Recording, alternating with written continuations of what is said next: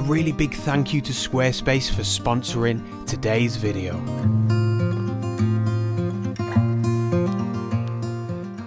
So what, what a beautiful day we have got here. And I have to say this, for once, for once, man. If you watch me every week, you'll know the past few weeks, probably the past month, it's been pretty grim. I've enjoyed it, don't get me wrong, or else I wouldn't be going out in conditions like I've been going out in. But yeah, this makes a welcome change. It is, it's a little bit breezy, but it's quite warm. And look, we're not getting wet. We're not getting battered by horizontal rain. So it's a treat. Now, today I want to talk about a technique, really, that I feel um, we should all be doing more of. You don't see this very often. I suppose, in a way, it's perhaps a little bit of a style. It's something that I almost never do. But I think it'd look really good. Or these types of photographs, I think, we'll get into it, of course, but I think they'd look really good in, say, like a portfolio, you know, across all of your photographs. These would be nice little additions. And um, I look forward to getting into it today, something a little bit different. It's been a bit of a theme of late, hasn't it? Just trying new things. I enjoy it. It's nice.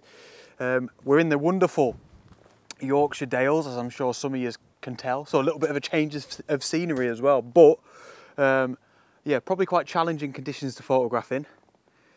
But we love a challenge. Lovely lambs chilling out. This your little mate there. Uh, he's stuck, man. He's stuck, and I don't have a clue what to do. If I should like, is he going to let me get him? You're not going to let me pick you up, are you, lad? Oh dear. So yeah, I always, I always feel a bit, a bit tight, like in these situations, a bit useless. I don't know what to do. I've no experience. Maybe I can see if I can herd him back in. Look at this tiny little enclosure. He must have got out somewhere. All right, let's have a look. I wonder if he got out his proper. Oh, I'll tell you what, I could just open the gate. What am I on about? Absolute lunatic. Right, I'm going to open that. Oh no, because the other sheep could come out. Right, we're learning quickly here. I've got to get my mate over here. Oh man, that's that's not nice to see, is it? Giving his mum a little kiss through the fence. Right. Don't know if I'm going to include all this nonsense in the video. I'm going to herd him back down there, quickly open the gate, see if I can get him in. The pressure's on. Come on, come on, that way. It's all for your own good, lad. Come on, that way. Hey. No, man. I'm on your side and I'm on your side. Right, I've got him there, look. No, no, no, no, no, no, no, no, no, no. Oh, man. Right, this is the closest I've got. No, no, no, no, no. Yeah, go through there. Go through there, lad. Go, go on. Go through there. No! How are you not going through that gap? I'm on your side, love. This is it now. I can't give up. He's an absolute wally. He just keeps jumping into the frigging fence. I can't give up on it now. Oh, he's found his own way. Look, there was another entrance. There was, a, there was another entrance and he's legged it. Right, it's a, it's a success. He's one of them two, look, looking at me now. One of them two and that was one of the mums. I don't know. We've done it inadvertently. To be fair, on the young lad, lass, they did it themselves. He found he found an entrance through this little fold here. Anyway, the freaking landscape photography vlog, mate. Not a, a, vlog on a British agriculture. Um, right, we'll make a bit of progress. I've got a cool location in mind. Hopefully, a cool subject actually as well. And then we'll talk about this little technique that I want to try a little bit of today.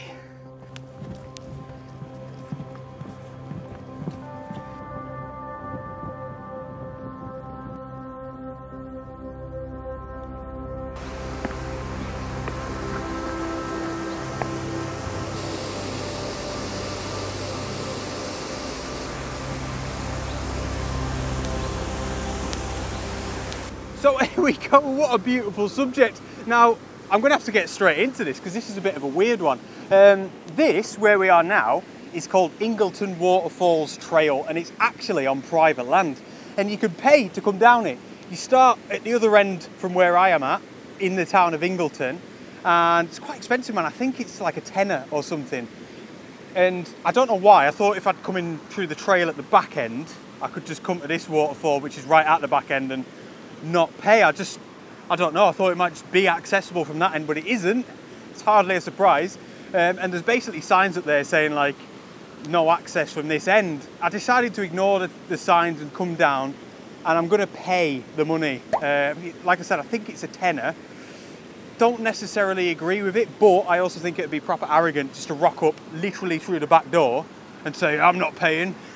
But yeah, I mean, it's nature, isn't it? Should we have to pay? I don't know. It's not an argument that I wanna get into. I just feel like, in fairness, I'll show you, they have, um, they've made it quite accessible.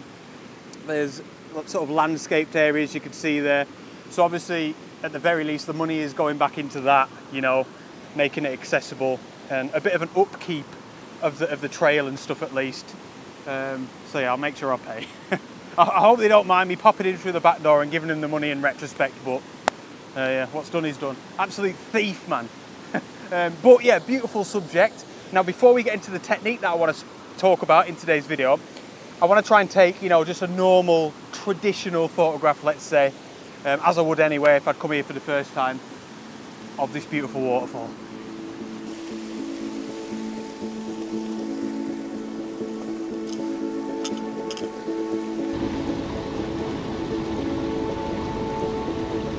So I've been here for a while, to be honest, guys. Um, it's been tough purely just because of the sun, the direction of the sun is, it looks great in the background there. He's illuminating the waterfall, he's glowing, it looks fantastic, but it's been a nightmare for the foreground because, I don't know if you can see it, my shadow is just everywhere in the foreground.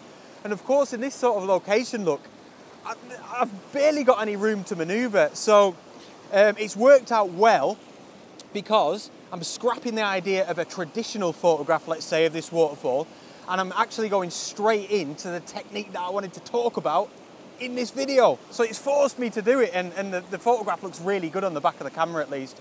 Now, what I wanted to talk about in today's video was the deliberate use of a shallow depth of field. This is something that I never do in my landscape images.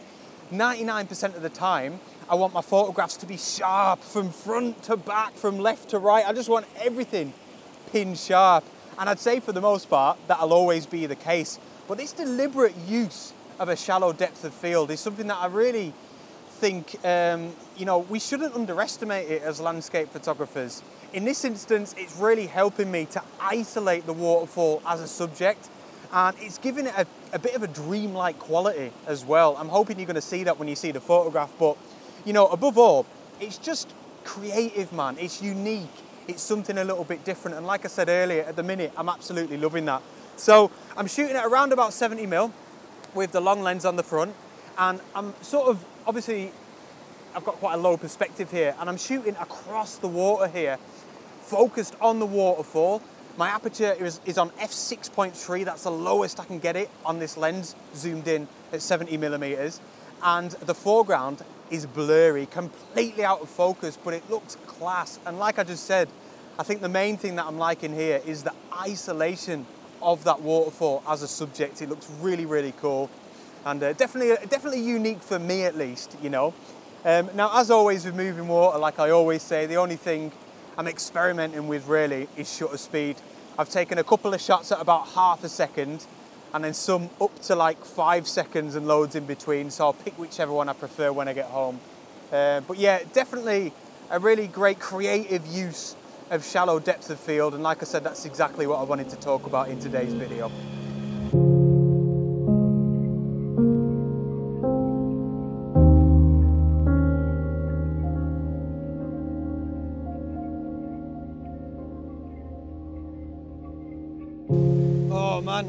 Submerged my foot. I just submerged my foot about halfway up my shin in that little pool of water there. That is a downer because oh, we've only really just started the adventure. We've got a wet left foot, but I'll tell you what that is. You know what that is, don't you? That's justice for trespassing and thinking I can pay my fee in retrospect. I might, I might, I might go to Sainsbury's tonight get myself a chicken burger, leave the shop, eat it, and then go back in afterwards and just say, oh, I robbed the chicken burger, like, I'm really sorry. Here's the two quid. It's probably about four quid nowadays, isn't it? Right, sun's sending me loopy. I'm not used to it. I'm going back the way. and um, onto another cool location. Hopefully we can try a little bit more of this um, shallow depth of field photography.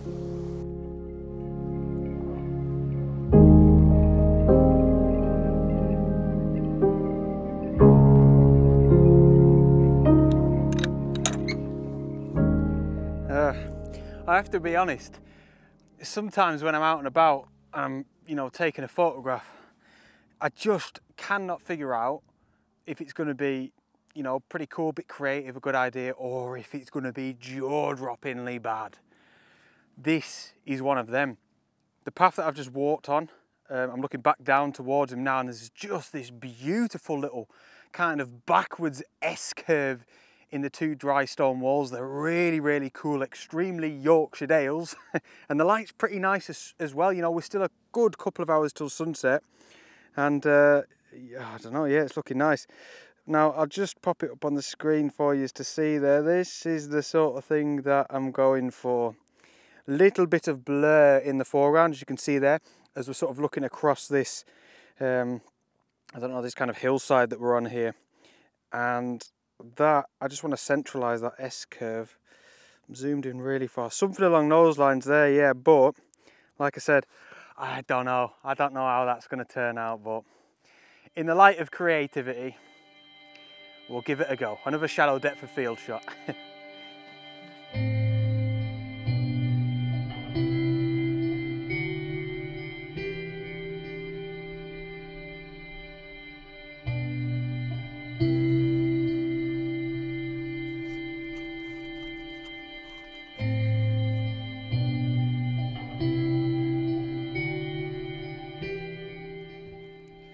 Right, I'm trying, uh, how's that looking? I'm trying a shot here.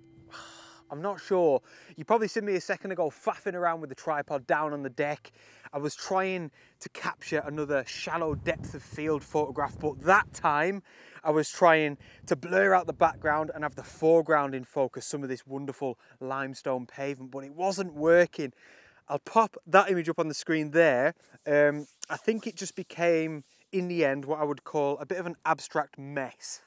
I was getting a bit too deep in the idea that I was going for. It felt a little bit alien to me. I like the fact that the tree was super blurred out in the background, but personally, I don't think it worked. At the very least, you know, it's the creative uniqueness thing that I've been trying to go for today with that shallow depth of field concept. Now, with that being said, the image that I'm taking here that I'm a little bit happier with, I'm still not sure, isn't a shallow depth of field shot.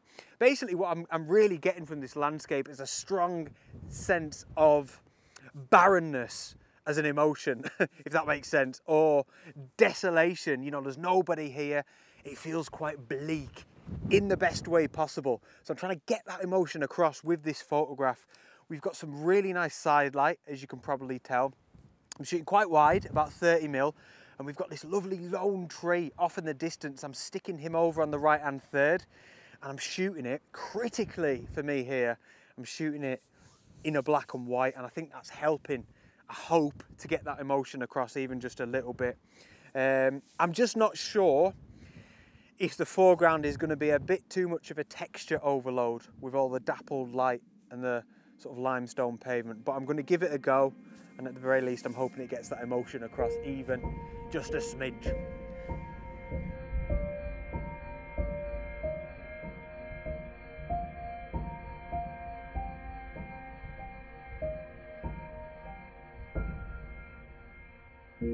So I've just I've just put my gloves on and I thought I'd give you a bit of a fun fact. The German word for glove is hand shoe. I just think that's quality, man. It's like proper German as well, isn't it? It's great. Right, we're going to move on in a second. As the sun is dipping down, the light is getting lovely actually. I wanted to say another big thanks to Squarespace for sponsoring today's video. If you've never heard of them, they're an all-in-one platform. They're actually a website that you can use to build your own website, which is what I did. My own site is through Squarespace. It was through them before I was sponsored by them, and I'm really, really proud of it. And they've got loads of professional looking templates that you can use, which have been designed by well, professionals, and it makes things a piece of cake. Take it from me, you don't need any experience in web development or coding. It's so simple and easy, but your website will still look great. There's no compromise on how good it looks. It's going to look professional. Absolutely fantastic, these templates are. Um, they've also got e commerce options as well, which means you can sell stuff through your Squarespace website. Perhaps you're growing an online business and you want to start selling things. That's what I do. I sell prints, ebooks, workshops, calendars, all sorts. And like I always say, I wouldn't be able to run my business without my Squarespace website. And um, they've also got a really cool thing which I never really talk about. They've got this kind of section of your website where you can view all the different analytics. You can see what countries people are viewing your website from. You can see what pages people visit the most, what content people like the most. And if I'm being honest, I don't really use that part of it that much, but I just thought it was worth mentioning because I think a lot of people will find that really helpful. Uh, but yeah, definitely give them a go. If you'd like to, there's a free trial. Go to squarespace.com forward slash Henry Turner, and that is a 14 day free trial. It's a no brainer, man. You've got nothing to lose, just give it a go. And if you like your free trial, make sure to use the offer code Henry Turner at checkout for 10% off your first purchase. Right, let's see if we can get some during this beautiful looking golden hour now.